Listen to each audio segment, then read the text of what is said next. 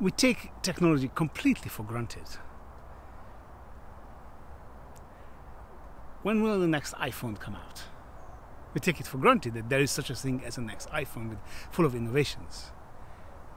The next bus going from my village into the middle of Oxford. I take it for granted that there will be this vehicle that will carry me. I stumble down in the morning and have coffee from a coffee machine.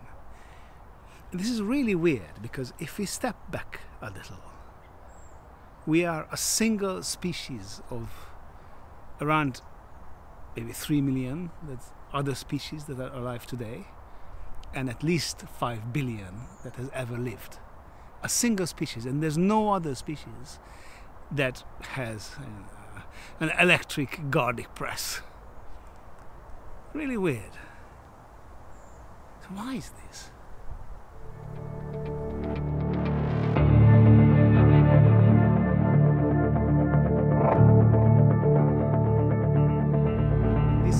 second segment of this crazy 24 hour lecture on the state of the species. First, we had a discussion about the interaction between economics and biology.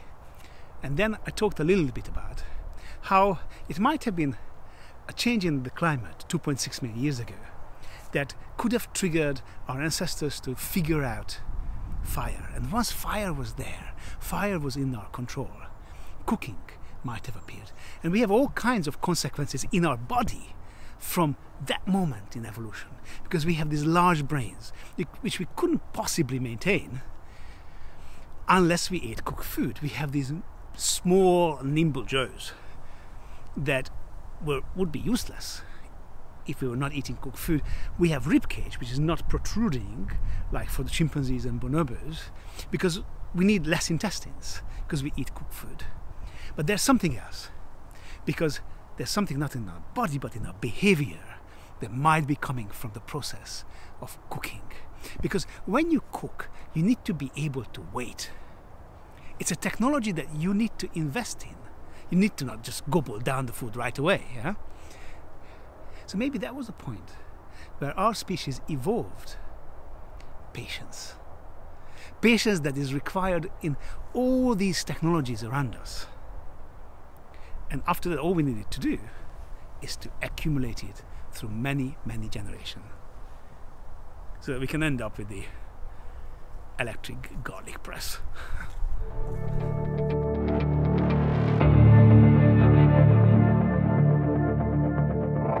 In the Netherlands, we have this uh, funny or strange habit of congratulating the whole family when someone uh, has a birthday. I think that that sounds valid. Yeah. Yeah, I mean, obviously they haven't actually killed the person, since, you know, up till that point. So, uh, you know, living with people's not always the easiest. Oh, exactly. yeah. I'm sure murder you're the this year, no murder this year. We're good. in, in, a little bit later, I will I will bring in Darwin, uh, Athena, and and there's this wonderful passage. I will read this wonderful passage. Oh, well wonderful. This passage when he passes uh, by tierra, tierra del fuego and and and where you know they they eat each other when it's really really tough tough times so darwin has this incredible description of cannibalism.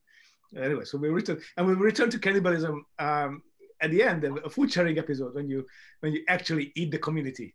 So later let, us see how far we get with this killing slaughtering of the, of, of the sounds like we're getting into the zombie apocalypse tomas so. Mm. Mm. so guys what do you think about this this question of this this space to move between economics and and biology? There's this shared element of, of, of foresight. I actually have have something to say about that actually. I think it's necessary for our future decision making to really consider all of this in the context of complexity. And it totally makes sense. At the moment, I'm focused on mental health and um, our future in terms of our well being. And that is really, really closely linked with how we structure our success and economy and what measures we look at so I, I think it's really important to keep everything linked together. So that's very Like, interesting. Context You're- matters. I- Context really, really matters. So- I, so I here- agree with that, and, and I've been thinking a lot about it in the current situation. You know, we hear a lot of rhetoric. I hear a lot of rhetoric, especially from young people whose conclusion is that capitalism is the problem. It's broken. And as I dig deeper, I realize they're actually conflating two somewhat orthogonal things: the purely economic structure, you know, our means of productions are owned privately or they're owned by the state, and a social structure which is highly individualistic uh, there's a famous book from the 60s, late 60s called I'm Okay, You're Okay. The 2020 version is written by perhaps the far right. It's called I'm Okay, Fuck You. Um, and, and then the other side of that, that dimension is collective responsibility. And so this is very much a biological or a social structure. Uh, I've been doing a lot of work in New Zealand, and what's interesting there is it's highly capitalist, but it's also got a very strong sense of collective responsibility. Here, in certain parts of the US, they're saying, no, it's my right to not wear a mask. Why should you tell me what to do? And there's this sort of anti-collective responsibility. That is a separate dimension from from the underlying mathematics of the economic structure, but they get highly tangled. I think that may be what you're saying about the complexity. And we, for some reason, we don't disentangle them to analyze them, and we therefore create this highly polarized view that, at least in the current dialogue in the in the U.S., is so difficult to resolve and creates conflict. I have an answer Get off to my your question too. Um, so if I think about so what's the relationship between economics and and biological anthropology, it reminds me. So I'm, am a, a four field trained anthropologist. So in our fields, we have archaeology, biological anthropology, linguistic anthropology, and cultural anthropology. And at some point, I just realized that we're all interested in very different spans of time. And the biological anthropologists are interested in the longest spans of time. And the eco- economists are interested clearly, based on what you said, in some very short spans of time. And the linguistic anthropologists I know are interested in even shorter spans of time because they'll study these transcripts of conversations and they're like looking at things at minutes. And so the archaeologists are somewhere in the middle. So I'm sure at some point you'll get to prehistory and history. And so you see this interest in smaller and smaller spans of time. I like that you brought up murder right away because I think it sort of shatters a misconception in my innocent California upbringing that I truly believed in the goodness of people. And at some point, I had to come face to face with the fact that we're actually a very violent species and it's not the exception, but an inherent part of our capacity to hurt one another. And so I've kind of dropped that perception because otherwise people just constantly disappoint you if you expect so much from them. And uh, and so I like that you bring that up right away because if you think about the crisis that we're facing, it's basically some of us or all of us murdering each other at different rates of speed, right? It's not the same as bashing each other on the head with a with a rock in order to get the the great fruit tree behind you, but it's not that different really. So I have a slightly more I see the look. optimistic view. so, Pretty dark. yeah. um, so I'm kind of coming at this from uh, evolutionary biology, psychology, anthropology. We have a, a project called the Human Generosity Project where we look across cultures at cooperation and we also do computer modeling and experiments with human subjects. And so for me, the thing that pops out, Tomas, when thinking about sort of, you know, foresight in economics and um, evolutionary biology is that, you know, I think that we're really accustomed to markets as the main way that resources are transferred. Um, but if we look at how small scale societies work, when it comes to managing risk, um, so, you know, things can happen that are unexpected. Um, and if you look at how small scale societies deal with those, you know, unexpected, unpredictable things, people help each other based on seeing the need and having the ability to help. So it's almost like there's a sort of informal insurance system that is just based in the relationships that people have in these small scale societies. And this allows them to, you know, deal with a lot of um, ecological volatility that no individual would be able to deal with, or even, you know, small group would be able to deal with. Um, and and I think that, you know, when we start thinking about our modern society, um, the way that, you know, we manage risk is still through markets, right? Like we have insurance markets where you pay in order to have the chance of getting, you know, bailed out if something bad happens to you. But a lot of people, you know, can't afford to keep paying in and then they have no protection. Or, you know, if you even take like some of the most extreme events that could happen, um, they're they're so unlikely um, or they're so not so much unlikely, but it's hard to even say what the likelihood is and what the magnitude would be. So you can't put together, you know, uh, actuarial table to figure out what um, kind of premium you would have to pay for it.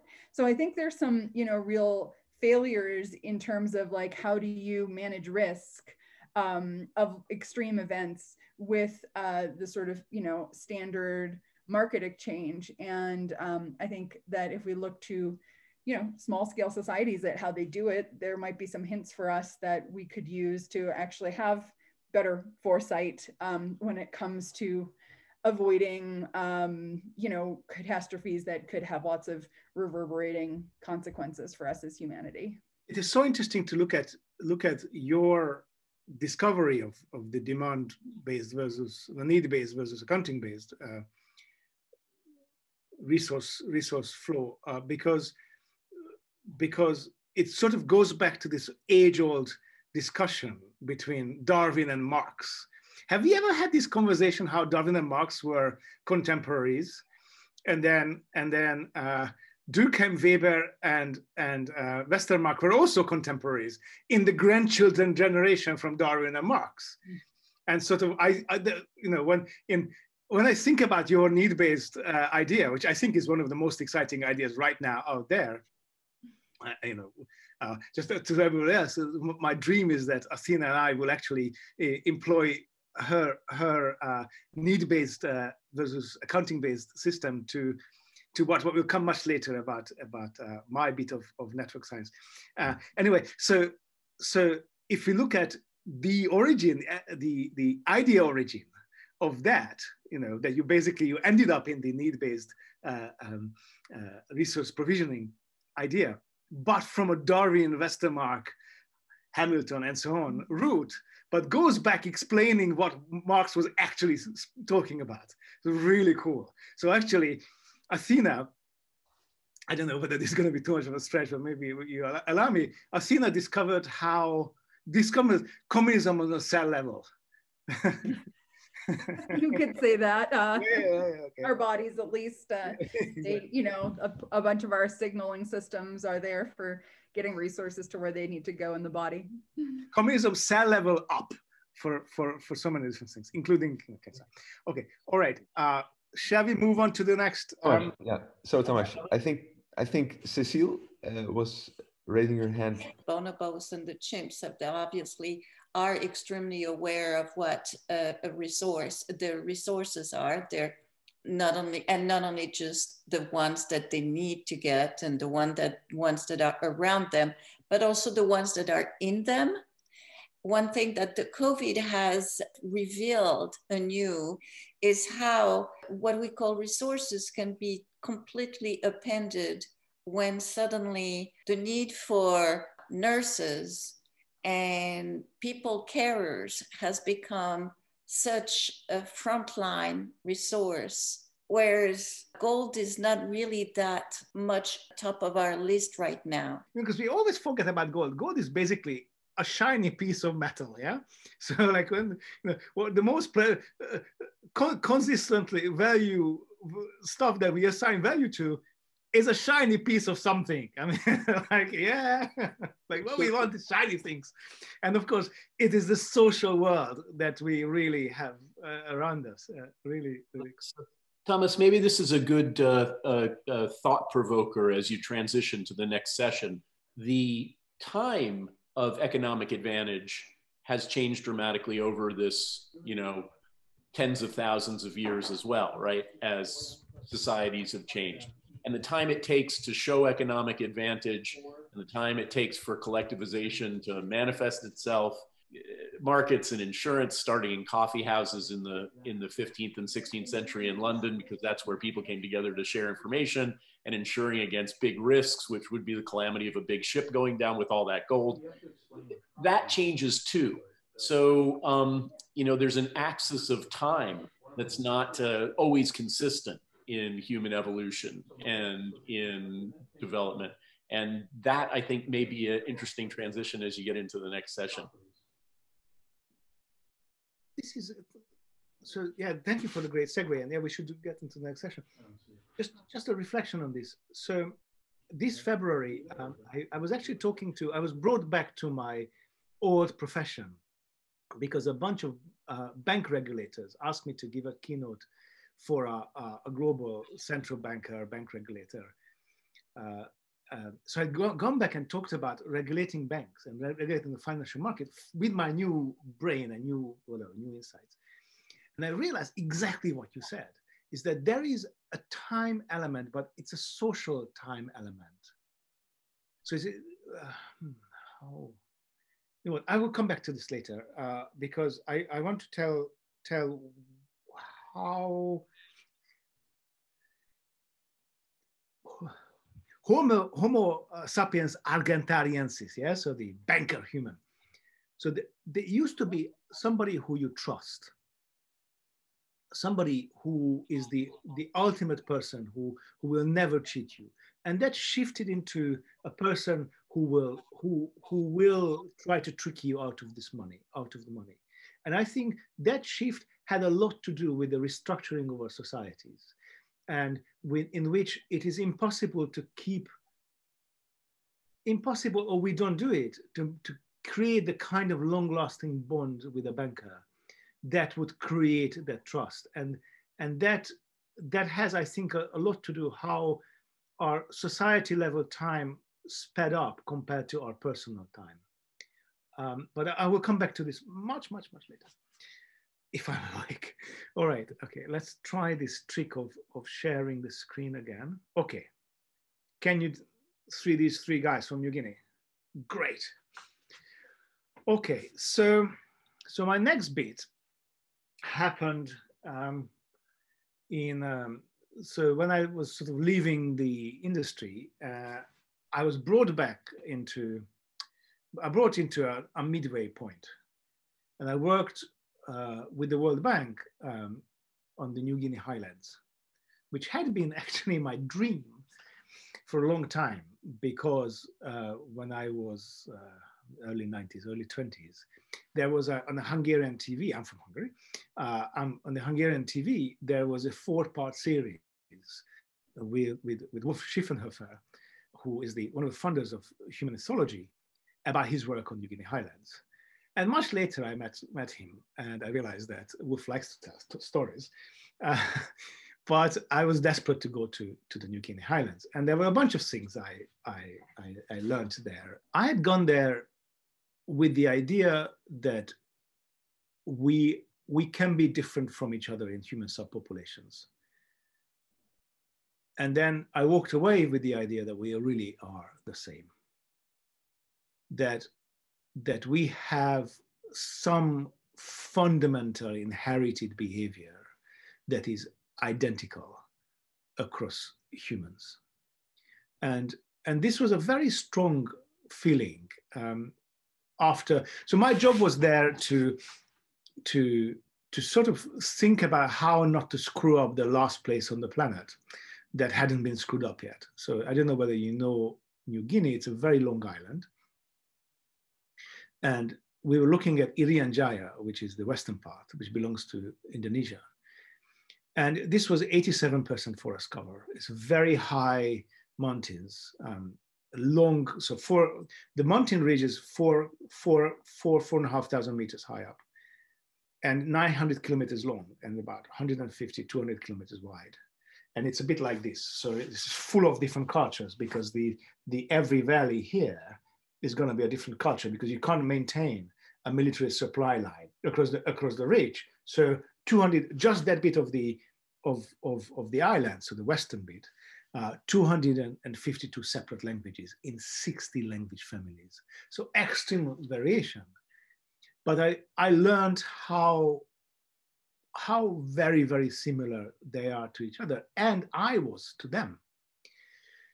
So really interesting revelation that, that gave a boost to, to, to my work later. But anyway, the point I wanted to make here is that when you go out on the forest and you see a bunch of uh, uh, guys like these guys, and you look at their arrows, you can tell what they're hunting for. So if you if you're going to have a, a, a long arrow with with a very pointy end, and often black because it was reinforced in the fire, then it is they were they were going for for birds or for tree kangaroos if if it has obviously three pointy ends and they go for fish, um, if they if it's sort of a, a knife-like thing like this, uh, made of bamboo, the end they, they're going for for pig, and if they're they have the kind of bobs that the guy in the middle has, that's for people.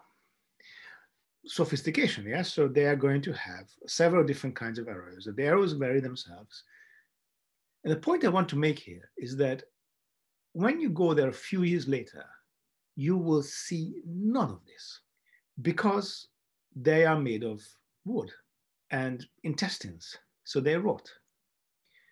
So one of the things that keeps bothering me when we look at, try to tell the story of human prehistory, and especially how our species evolved and how our species appeared, is that we really use the archaeologist understandable focus on whatever they found but then we we sort of limit ourselves very much. And it's a very understandable thing because archaeology used to be an art discipline as archaeology moved from an art discipline towards science there is a physics envy which i know very well from economics and hence holds the imagination back and holds the discussion back so I witnessed in several different archaeology conferences when people didn't dare to say what they actually thought. Uh, oh yeah, by the way, I, I, want to say at the beginning, so, so this is not, what I'm doing now is obviously not a scientific lecture. So in the sense that I will just say whatever I want. So uh, I'm, I'm not, yeah, uh, yeah. I say whatever I think is the most likely in my head. Anyway, I just wanted to make this point that, when we go back and look at the stone tool, we really need to ask ourselves if these guys had that particles tool, what other tools did they have? Yeah, I mean, I brought the, I've got two objects. I'll show you an object. This object, this is, this is, this is an X from the New Guinea Highlands. Uh, yeah, you're going to find this piece of stone. If you go to the Natural History Museum in Oxford, you will find pieces of this, this kind of stone. It's very elaborate, quite difficult to make stone, but you won't find any of the other bits. Yeah, so we sort of, it's an obvious point, but we forget. We forget to ask what kind of other technologies did they have? All right, and obviously you can do, here's another image there's nothing on this on this picture that's going to last that you're going to find in an archaeological dig. So obviously people have very complex behavior and you will not see it when you look back. Same here. Okay. Okay. Okay, so let's then step back. So somewhere around three and a half million years ago, uh, there were these biped great apes. So they were our ancestors. And we know that they, they walked. So in Laetoli, there is this well uh, uh, dated site where you can actually see some, some people walking next to each other. Pretty. Some people, some, some Australopithecines walking next to each other, some of our ancestors. I mean, isn't it amazing? 3.7 million year old uh, behavior fossilized two people walking uh, together. And then we know that this, this person looked a little bit like this. This is a, a little later. Uh, was occasionally walking, that's for sure. Uh, didn't have a very large skull and used some tools. Very likely they were these were bits of somewhat modified stone with which you can actually smash a bone and you can take the bone marrow out. It's a pretty useful thing to do. Um, the only specially special thing about it is that they modified stone tools. So both bonobos and chimpanzees regularly use tools. So using tools is really not that special. And if you look at the brain size of, of these guys, they were really not that different from chimpanzees and bonobos. They were not different from chimpanzees and bonobos. So you can think of, of, of them at this point, so about three million, three and a half million years ago, as people who used tools, they were sort of upright chimps bonobos. And of course, then something happened because fire use came in. And, and so the next bit I want to show you is what I, I suspect about the rise of, of fire use. And fire use is something that obviously every human uh, uh, group does. And then every human culture, every human culture cooks. And we are the only species that is adapted to cooked food. And there's a bunch of things that are there. So, uh, I mean, the large brain, we couldn't maintain this large brain if we didn't eat cooked food. Um, our teeth would not be strong enough and big enough unless we actually had soft uh, food. Um, our rib cage would be out like this without cooked food because we would need to have much more intestines to deal with the food. So, and the, all of that happened around the turn of two million years ago. But there's a there's a giant controversy around this because we don't really know when it happened.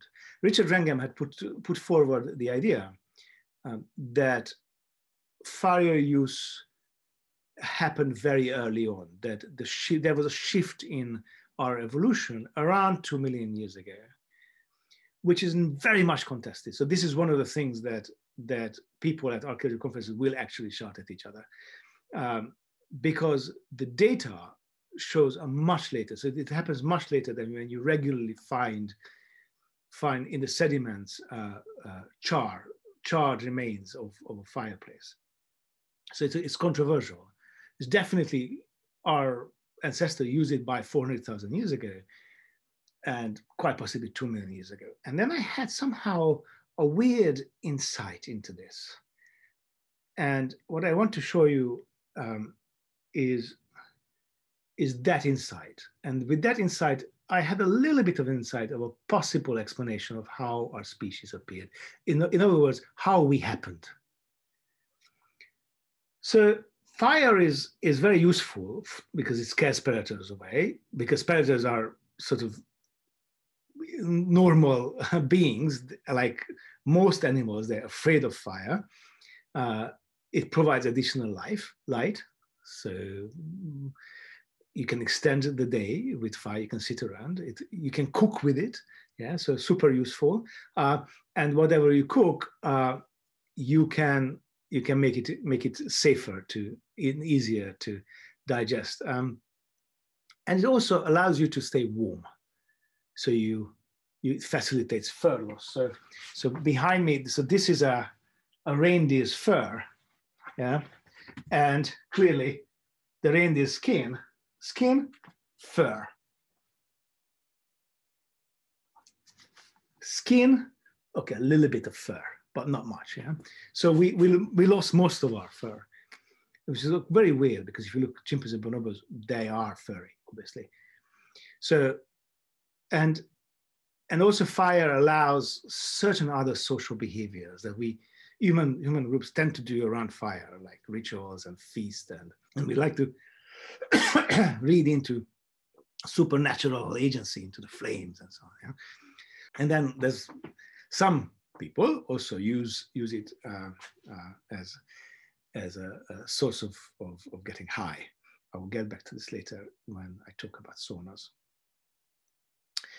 So fire is, a super useful thing to do, obviously, and these are the, the uses that I, I found. Um, the question was, how did we start using the fire? And one possibility is that there was some opportunistic interactions. So others sometimes pick out uh, food that was cooked in, in fire. Um, but there is a, an issue with this because you need to be able to control fire. And it has uh, several things. You, you need to somehow get rid of the fear of the fire, and then you need to be able to contain it, that it doesn't burn down your forest. So fire is actually a tricky technology if you think about it. And again, let's think about where we were about two million years ago. Yeah, um, and then of course the the next question is, can you actually make a fire? And and this framing and thinking about this uh, came to me with a with a with an insight. It's a very unexpected insight. It happened when I was working with Robin Dunbar. Um, we were sitting in the same room for a few years, and and then he turned to me and said, "Well, there is this paper," and and somebody came out, uh, uh, two authors, two scientists came out with a new, uh, updated version of of the of Peter Wheeler's hypothesis that argued that bipedality appeared uh, because people uh, didn't want to get hot. So Peter Wheeler's idea was that, that, oh, isn't it interesting that if you are a savanna living ape, unlike chimps and bonobos who live in the forest, if you have a, if you live in the savanna, your problem is going to be that you're going to be too hot. It's a very interesting twist because, of course, the mammalian trick is to stay warm. So this fur allows you to stay warm and, and active at night. So his point was that if you are way beyond that point and suddenly you are living in the savannah and you are a daily person, you're somebody who lives during the day, when there's a lot of uh, heat on you, a lot of solar radiation hitting your body, and you're furry, you're going to get overheated. So you can have an example for this. Um, have you have you ever seen kangaroos when they get too hot? So sometimes uh, the temperature is so high in Australia that is higher than than the body temperature for the kangaroos. And of course, our problem is that we can't, the kangaroos can't really shed heat. So and as a mammal, if your body temperature is too high, you die. So do you know what they do? They lick it here. Yeah. So I, because this is where the veins are close. And when you lick it, you you start dumping heat right away. Actually, you can do it yourself as well. So if you're on a hot summer day, if you if you really run out of every other option, option one, take a piece of ice and put it here. option two, actually lick it yourself and that's going to draw some heat. So but almost like you're creating a sweat for yourself. And this is what the kangaroos do as, do as well. Yeah? So, so there's a, a, a heat regulation problem, um, Peter Wheeler point, pointed out. And his idea was, ah, if you are standing up rather than all fours in the middle of the day, then the sun is going to hit your head and your shoulders, but much less your body. Because in the middle of the day when it's hottest, it's coming from right above you. He says, all right, this is a sun umbrella. So the hair is a sun umbrella. And all the rest of the body is, is, is able to, uh, is, is going to reduce, uh, taken much less uh, solar radiation, so much less overheating, hence the bipedality. Uh, this was not immediately endorsed by the rest of the profession. But it's a, I think it's a neat little idea. And, and many people, you know, usually when you teach uh, human evolution, you're going to uh, mention Peter Wheeler's uh, models. And then um, Ruxton and Wilkinson in 2011 uh, produced two papers. And they sort of amended Peter Wheeler's model. And they said that you can actually uh, uh, you're actually generating extra heat when you walk. Yeah, so you know that you do that. We know that because when we go out walking or jogging, especially, we start sweating. So we sweat because our bodies are overheating and we are trying to dump heat. Yeah, so the muscle movement creates energy, we dump heat, and hence we sweat. So they, they pointed out that when you're furry, then you can't do this because you can't dump heat very efficiently. So you, you can see that if you have a doggy and the doggy is running, running, running, what does it do? It will lie down and go, yeah? So lie down as in stop moving, stop creating additional uh, uh, energy, and then dump heat via its tongue because it's furry and it's very difficult to, to dump heat when you are furry. If you think I'm lost here, uh, not yet. I will get to the very interesting, hopefully interesting point, but some I will get to some point. Anyway, uh, so anyway, so you you need to dump dump heat, and they said if you are walking, uh, especially walking all the time, you can you you can't dump heat if you're furry. Um, and so they they had a story that that that uh, somehow hair loss uh, and bipedality are differently linked to our evolution. Yeah, so hair loss is the more important thing they said, and bipedality was was a less important thing.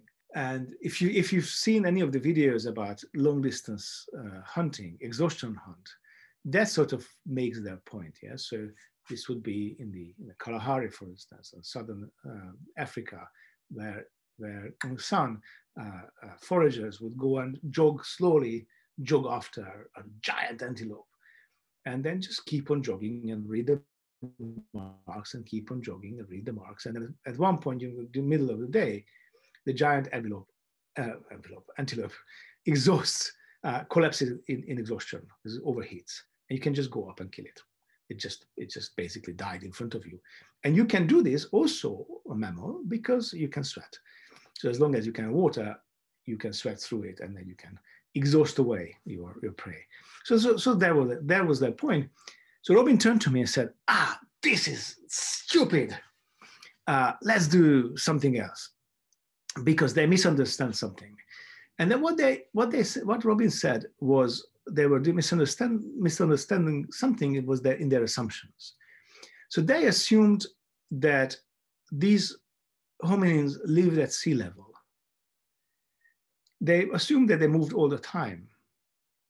And then most importantly, they assumed, and this is going to be why I'm bringing it in here, they assumed that there was no problem of being cold at night.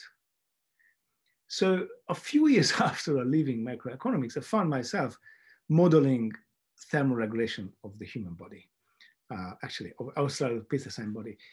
And don't engage with this slide too much. The point was that we looked at we looked at a lot of different kind of uh, uh, uh bits. So you're, you have heat directly coming from the air, directly from the sunshine and reflected from other parts of the of the environment. And then you have heat inside from the fact that you are mammals, so you're producing heat all the time, and you are moving, but at the same time you lose some heat through uh, respiration, and you lose some heat through sweating. So, for, and of course, to sweat you need to be furless.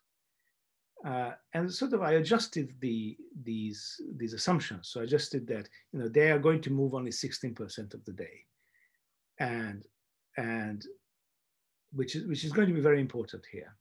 Uh, and then adjusted the the daily temperature for much higher altitude.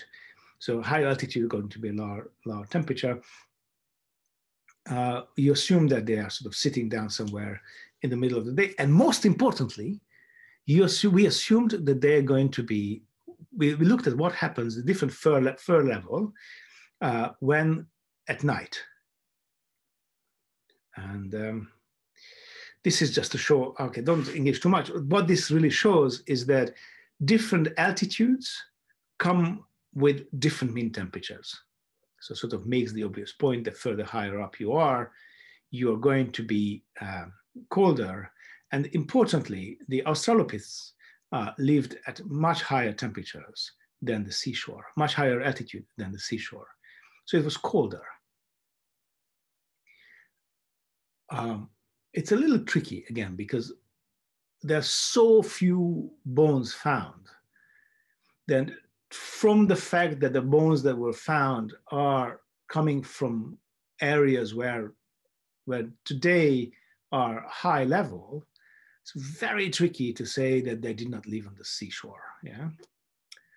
So uh, yeah, but no, this is what we cook it. Anyway, and then so I I, I ran these models, and the, what these models showed is that bipedality is important and sweating is important. So what we found from these is that that Wheeler could have been right, and and Ruxton Wilkinson were right in the fact that sweating was important, but we showed that bipedality was still important. In fact, really weirdly, when you take into account that the bipedality and the ability to sweat, hence furlessness, for a male, it just exactly hits. So a male Australopithecine body, it just exactly hits the point where that you need to reach. So I was like, wow, it's very rare that you would have such an exact match. Although you know it's difficult to to to to get the parameters exactly right in this model, I think that these two might have played a role together. But then, um, uh, wait, and then, uh, and then, and then I said, all right, what happens at night? Because all of these models, when people run these models, they tend to focus on the pumping heat during the day in the savannah when it's hot. But when you run these models, again, this is the body. Yeah? When the body is not moving, when the body is, and you're in dark, so there's no external heat coming in, if you're furless, you are really cold. And the further high up in altitude, the colder you are. To the extent that if you calculate of how much extra, extra food you would need to eat to fuel your body at some of these uh, sites, then what you would end up is what, what, with, with what you would end up is more than double the food intake, the energy intake. So you would need more than double than the daily use just to not to freeze your bum at night. Which is obviously too much, especially that without cooking, chimps, bonobos, and, and these probably these Australopithecines were at the limit of how much they were able to eat because there's you need to find the food, you need to eat the food, you need to digest the food, and it's all the raw material. So if you if you know about the raw foodist movement, the raw foodists are usually very thin people because you can't just get enough enough in. So and this really bothered me. And then something hit me at this time, Richard, I really like Richard Wrangham's idea about, about cooking and the rise of fire use and cooking. That around 2.6 million years ago, look at this graph in the, in the bottom. Around 2.6 million years ago, the, the climate changed. And, and for some weird reason, there was suddenly this very pronounced 41,000 year, year long cycles appeared. And a lot of climate models modeled this and showed how these cycles were just long enough that you would have you would have the forest expand and come back, expand and come back, and expand and come back. And of course, you would say, well, with that, uh, the competing ape species might expand as well. But if you assume that there is an ape, a, a biped ape, mostly biped ape, ape that is living in the forest edge, then with each expansion and withdrawal of the forest, the problem that they are facing, the thermoregulatory problem that they are facing changes. So when you expand, then suddenly you are going to be in a colder environment. So the nights are going to be much more punishing. So you need more fur. When you are, when it with forest withdraws, you're going to have more time in the savanna. So you need to get rid of the fur, so you get less furry. So every round, you would need to have, you would need to drop the fur and then evolve the fur back, drop the fur, evolve the fur back. And, and of course, then one possibility is that at one point you just don't do this. One point you simply start using some other method. And fire would be this other, could be this other method. Okay. So this was my insight. And then I started to model fire use. Let's build a model for fire use and cooking as a technology. What would be the production function for cooking? Okay, let's do it. So I realized that there's a very interesting pattern here. Look at this graph. The, the x-axis is time, let's say time of cooking. And the y-axis is how useful the cooking is, how much value you get out of cooking. So it's a, a classic uh, production function. So the, when you're a blue production function, that means that you get a lot out of cooking right away. Yeah. And if you sort of move into the red one, then you need to cook and process the food for quite a bit of time before it starts being valuable. So, okay. So this is how, how much your value changes, but you need to add some costs to this. What you need to add is costs you need to maintain the fire going, you need to maintain the cooking going, and the cost that somebody might come and take it away from you. Yeah, so you've been you've been processing the food for a long for a while, and then somebody can just take it. Yes, if you give food for a doggy, what does a doggy do? Unless you train the doggy not to do it. What does your doggy do? Take it in right away. Actually, most of them will do this. They're hungry, food, they take it in. And they, they're going to swallow it as fast as possible and then deal with it afterwards. Why? Because once the food is inside, it's much more difficult to take it away because you need to kill them to take, take the food away, um, unless you know, there are some birds and actually other animals that make, make, make the victims regurgitate the food. So you don't need to kill them. They regurgitate it and they eat the regurgitated food. So this is a real risk that somebody's going to take your food away you need to be powerful not to, to be able to protect, protect it. Yeah. So there are two kind of costs, in, in other words. One is the continuous cost that you need to make, keep, keep the fire going, keep the cooking going. And the other one is that somebody will, will, will take it away. So if you control for these against the three production functions, you have this really interesting pattern. So if you have the production function of the, the blue line, yeah, now look at this bit of the, of the graph. Um, then what you have here, this is, these, are, these are the production of the value functions, but corrected with the costs. The beta um, uh, is, is uh, the shape of the curve. The, the different kappas is how costly it is to maintain the fire and cool the continuous fire. And the R is the probability that somebody is going to take it away at any moment. So if, if nobody's going to take it away, you are really, uh, it's a really valuable uh, production function, then it's very clear that, that this is a production function that every living being is going to use. Yeah. So this is not going to be the, the production function for cooking, because as far as we know, our species is the only one that cooks. And surely somebody would have invented cooking if it was so, so useful. So this is not the world we are in. The other version, if somebody can take it away, is essentially the same as the first one, except you need to eat it much faster. Yeah, so you have much less, much less time for you to not to eat it, which is basically what is happening here. Yeah, so you just eat it faster. The really interesting ones, when it takes time to for for the value to come in. Yeah, so the the orange one. Yeah, you start cooking and there's not that much, not that much, and then it's really useful.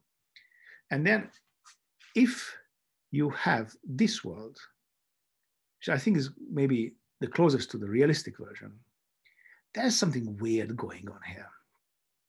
So if this is the cooking, cooking processes production function, then sometimes, so if it's very costly, like the bottom line here, it's very costly to cook, so costly to maintain, and quite high probability that somebody's going to take it away at any moment, you will never cook. You are going to simply gobble it all up right away, and it, it will never actually occur to you that you might cook. But the weird thing is that even in points like this, when you sometimes, it makes sense to cook after a while, there's this weird period when the value is negative. So for a while, you are investing in, investing, investing in it. And uh, it's, it's not worth it because someone is going to take it away from you. So there's this weird process going on here. And I was thinking, right, so what is going on here? What, what kind of abilities would you need to cook? And this is such an obvious question because we cook all the time, because we are human. So we don't ask ourselves about the production function of cooking, we just get down to it. But there is a production function, and and we need to, if you want to explain of how the whole thing came about, then you, we need to sort of engage with this negative bit. How come we got over this? So I looked at what would be the different, the different spaces in which, of cost spaces, in which you would have cooking appear. And, and so, so it's very clear that if, if you have a lot of, if you have no cost, then every, every species would cook. If the costs are very high, no species would cook. But what we are interested in, the costs are just right for one species to cook that already has, has something, has fire.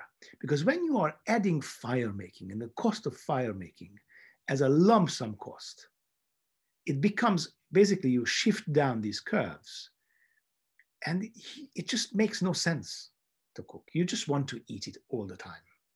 But if you had fire, you do not push it down. You might be up in this world here because you've already done that lump sum cost of having a fire. So that would explain that if there was a species that started to use fire because the climate started to change. There was a particle cycle. And this species lived on the edge of the savanna, was able to use tools, occasionally manipulated fire. You could tell a story in which this species then started to use fire to keep warm at night. But then there's something happening, yeah? because you, for this, you need to be able to wait so not, it's not enough that you have fire. It's not enough that some bits of this process, you need to be in the positive, yeah? So you need to wait enough and process enough. You need to be able to wait. So if the starting point is an animal that will gobble down, the, that will have the instinct to gobble down the food, yeah? A little puppy doesn't need to learn that it needs to gobble down the food. It goes up and it gobbles it down right away. It's an inherited behavior you need to have the ability to wait. And if you think a little bit, every technology that is surrounding us has the ability, the need to wait. So this would tell a story in which climate changed into a particular cycle 2.6 million years ago. This ape responded to it with fire use to keep its, its, its body warm during the night, which could have tripper, triggered cooking, but would the, via the gradual uh, evolution of temporal inhibition, so the ability to wait. And, and that might have been the point that really our story started off. So then this is a jogging animal that sweats, that has a much larger day range. So you can you can use the all the day of the all the parts of the day. You can get much further away because you're cooking. It's much the food is much much denser, so you have larger groups, and you you have more social time because of the fire. And on top of this, because you can suddenly invest in one technology, that general temporal inhibition that you can wait also means that you can invest in other technologies so you can build complex tools. and sort of that's my version of of how the whole thing whole thing happened how we we came about. And this is the end of the second segment. And i just uh, finished the first segment slides. Right. Okay here we go. Stop sharing ah new people Cecile, I think you are you are the one who's done for. So I'll start hello, and I'll start by welcoming all the new ones, the people who came in. Well, Thomas was uh, talking, taking us through the fire making, and then food cooking, and then waiting period. Um, the I'll start, you know, you, you obviously, you're going to, probably quite a few of you uh, have really interesting comment about it, but uh, uh, I love the way you have woven all this story with using time as as the thread, the yarn that goes through uh, the whole thing, uh, because it's definitely it's the uh, what I would say the abstract concept that comes into a man, the story of the human ape is the time. And that, for me, the way you put it is the first intellectual approach to our existence. It, it is interesting that when I was putting together with these 24 little segments, uh, time kept coming back as as something that we maybe we don't talk enough, or maybe I haven't thought about enough. So time is is crucial for foresight. It's going to be crucial for us to be able to deal with the collapsing biosphere because we need to be able to predict ourselves to build the kind of institutions. Uh, but then also there's the, I, uh, uh, like much later, like 22 hours from now, uh, we could talk a little bit about the difference between physical time and behavioral time. So the fact that we, we do not perceive time as a physical time, yeah? So this is just an aid, but I don't perceive that. I perceive time in rituals that are, that have meaning. Yeah, so this is why we celebrate, uh, uh, we have these weekly celebrations, yeah, the Friday evening dinner, the going to, to a place of worship, a place of community, and then going through ritual. Uh, this is why we, you know, we have birthdays. Yeah, the, the, these are ritualized time, and we perceive time through this point. So, but at the same time, it is so crucial because we we cannot possibly forecast the world without time concept and our perceived time is such so much more flexible and and and and bendy than the time of the models that we need to be able to understand. Yeah, so the lack of foresight is, is one of one possibility, one possible reason for that. But also we we will we will have time as a as a complex institution, uh, complex technology just like now, and then when we're going to talk about the rise of agriculture, there was another interaction between the climate's variation and time, which, which led to, I think, patriarchy. So anyway, so it's, yes, I fully agree with you that the, the, time is, is something that we should be talking much more. The kind of concept, behavioral concept of time, the ritual concept of time, the physical concept of time, and how that is interacting. So I apologize for having jumped and uh, jumped gun and just use my role as uh, to talk first. If anyone else has, I need to go. Um, I'll be back while you, while you get chatting. I'm gonna listen. so, um, who would like to add something about? Uh, maybe the anthropologist would have their little thing to add about uh, that story that Thomas just told us?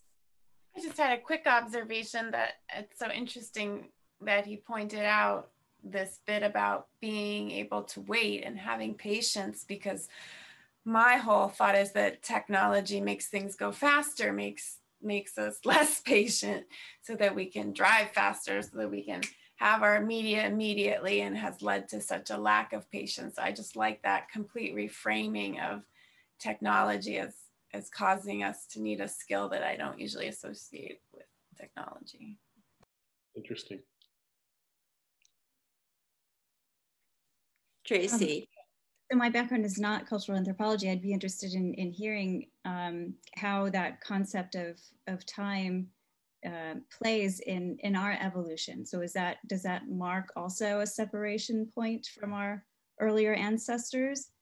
And then um, another thing that came to mind from one of the last points that Thomas made in the presentation, and then Cecile, your point um, about you know being able to wait. Well, the marshmallow test came to mind. So it seemed like, well, so maybe if you're if you're able to wait, then you know what other opportunities for development does that does that open up uh, to you? That's exactly what I was just thinking about, um, Tracy, is delayed gratification. And so delayed gratification is part of our cognitive development. It's part of our, the thing that separates us from every other great ape is the fifth level of mentalization and being able to make that delineation. And then when we talk about delayed gratification, that involves our center of emotions and all these other cognitive abilities that we've evolved. But that then loops back into the reason why we were able to do that, we think is because we were able to uh, nurture and feed this brain, which is very, um, requires a lot of calories for development and for functioning. So we, it kind of all comes full circle of why we are where we are and why we have these abilities, which is super like fascinating to me and makes me all excited. Yeah, very cool. Thanks for that explanation. So what I find really interesting uh, uh, uh, with all of this is that Tamás places this um, at the very beginning, and as you say, I mean, coming full circle. Yes. Um, uh, so so I think it's a really good point that if you want to uh, make use of all the benefits of fire, you will have to have this, uh, you, you will have to be able to pass the marshmallow test, so to say. And uh, I mean, my, my, one of my little ones just woke up and um, uh, I'm watching right now how difficult this actually is, how long a process it is to be able to deal with these um, uh, delayed rewards. Uh, and I, and I think there's also, I mean, one of the things that we know, of course, uh, about uh, inhibition. Is that it, it, there's a lot of variation, even in adults. So I find it very interesting to see how uh, how obviously important this is to our evolutionary story, um, but how it's still something that we seem to uh, um, need a lot of uh, training and time and to to come to terms with in every new life so i'm also i'm really curious also to hear what what so, so there's the evolutionary part there's the developmental part which can maybe also inform each other uh, on this topic. And um, uh, i think what Tamás's story underlines is how how uh, this is really one of those uh, uh, skills that gets a lot of other skills going. Uh, so the importance of understanding it is even is even greater than i than i thought an hour ago before hearing this take on it? From a navigation point of view, you know, we've been focused on fire, but you know, we talk about coming full circle as you just did, but it took until whatever it was, the 18th century and the first real marine chronometer for us to be able to have a concept of time that was independent of the way that nature worked, right? Um, we had the sunrise, the sunset, the little children wake up with the sunrise, the birds start chirping. But if you think about the navigators of, of Polynesia, they could make sophisticated maps and see how the stars were moving, even if they didn't have a great concept of you know geospatial rotation and and astronomy, although they certainly knew the stars. But everything was uh, everything was uh, happening independent of man's ability to have a, a, a mechanical system for measuring it. And the marine chronometer then gave this freedom to man because the marine chronometer said, look, it doesn't really matter when the sun is rising or when it's setting, whether you're in London in Greenwich or whether you're around the world, this is what the time is in London. And relative to that, when the sun is rising, you can have a sense of where you are on the surface of the earth. And, and that's what this brings up for me a little bit as we think about you know delayed gratification and how time changed.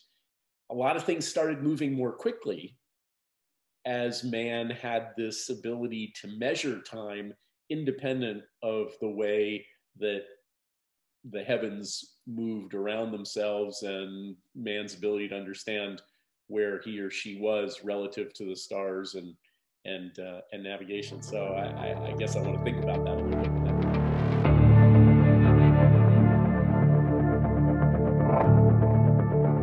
The Human Beast series is about understanding who we are as a species so that we can equip ourselves to take responsibility for the planet. Because if we humans are not going to do that, there's nobody else who's going to save the biosphere. If you'd like to be part of this conversation, please subscribe here now.